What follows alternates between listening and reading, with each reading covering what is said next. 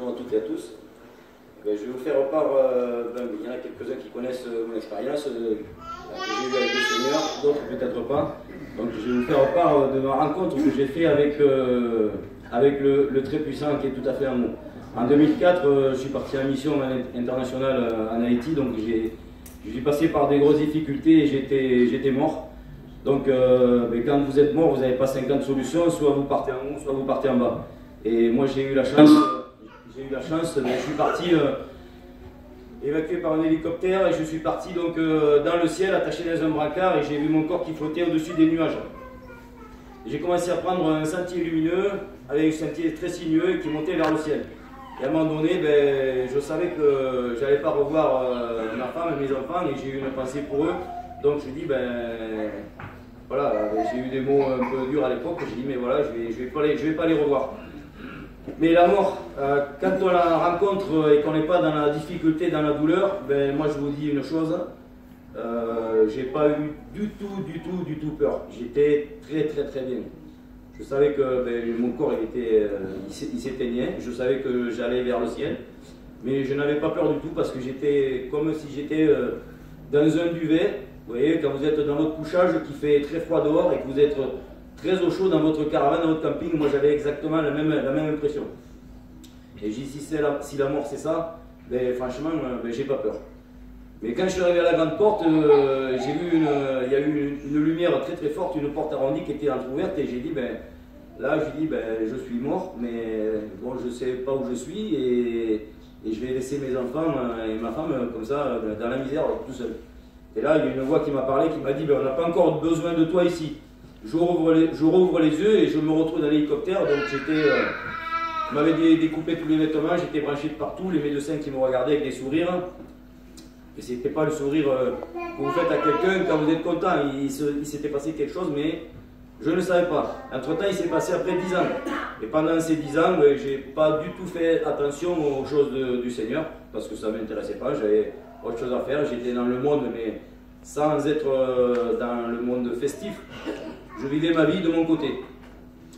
Et il y a trois ans de ça, donc euh, même chapiteau que ça à Tarnos, où là j'appelle mon ancien maintenant, puisque voilà, euh, Samuel, le, fils Apata, il était responsable de la mission, et moi, ben, en tant que pisto, ben, j'étais responsable de gendarme et j'allais sur place donc pour le verbaliser. Et donc on m'a dit, euh, ma mission c'était simple, tous les deux jours vous allez là-bas, vous leur mettez 17 euros d'amende, et puis quand ils en auront marre, ils partiront. Donc voilà, c'était comme ça. Et là je me suis retrouvé là-bas. Mes deux camarades, je les avais envoyés euh, travailler, moi j'étais dans le véhicule.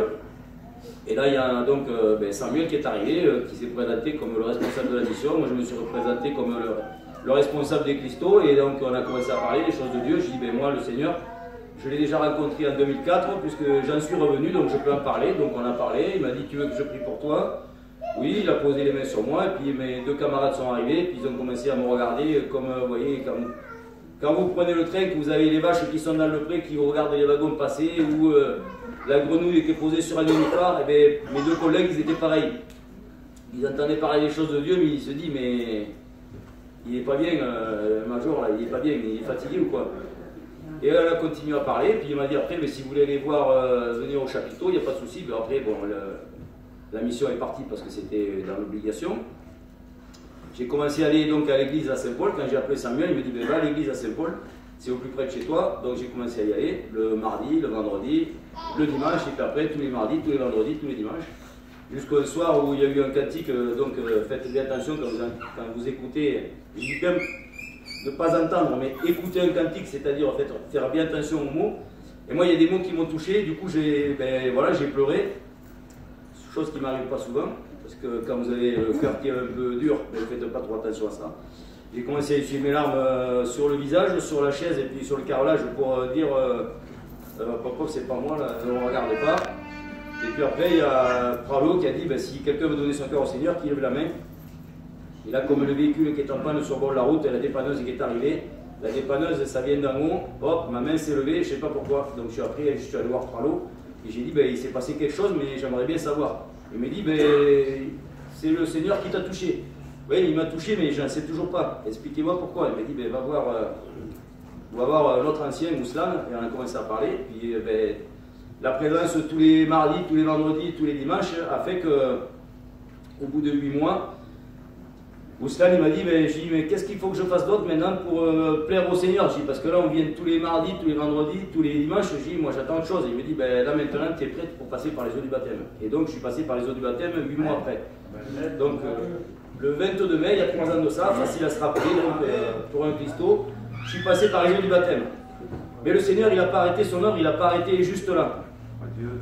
C'est que là, dernièrement, Bon, il y en a qui étaient dans l'église euh, ici, qui sont présents sous chapiteau, il s'est passé quelque chose de très très fort.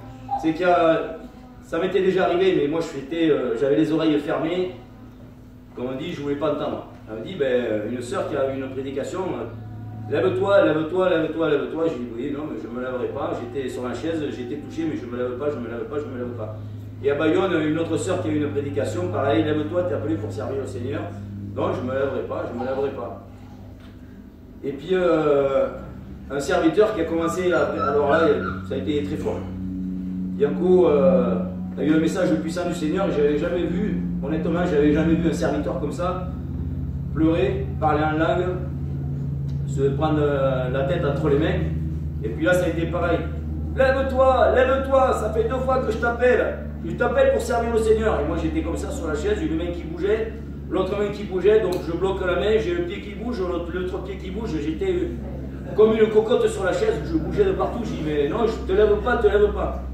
Et là, il y a notre serviteur, il y a Pouchka qui arrive derrière le micro, et avec une voix forte, il a dit mais Lève-toi, ça fait deux fois que je t'appelle, lève-toi, tu es appelé pour servir le Seigneur. Et là, j'étais euh, alors, euh, l'eau elle bouillait de partout, je n'ai pas pu me contrôler là. Bon, j'ai giqué, comme on dit, ou bondi de la chaise, et je me suis retrouvé devant l'estrade.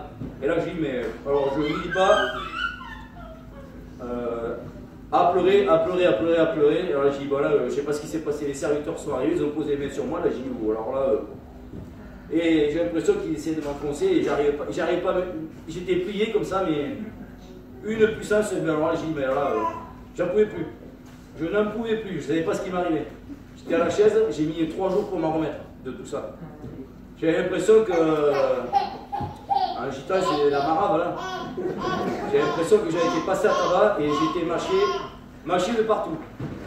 Moi, je remercie le Seigneur pour ça parce que, en fin de compte, moi, les gitans, euh, quand je disais toujours pareil, c'est les majeurs de, les voleurs de poules, les majeurs d'hérissons. Quand je passais à Saint-Paul, je voyais de la fumée noire. Je disais, regardez-les, ils ont encore avec du cuivre, ils sont en train de le faire, de le faire cramer.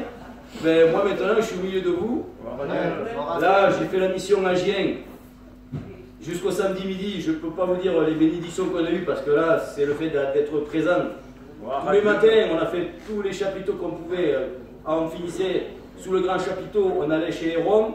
Le matin à 8h, on allait sous le chapiteau. On a fait des bénédictions, des rencontres. Et donc, je remercie le Seigneur pour ça. Et qui nous encourage donc, pour ceux qui ne sont pas chrétiens, n'hésitez surtout pas, n'ayez pas peur. C'est pas dangereux. Vous allez voir que vous avez tout à y gagner dans la bénédiction. Je vous remercie et je vous bénis tous. Merci à vous.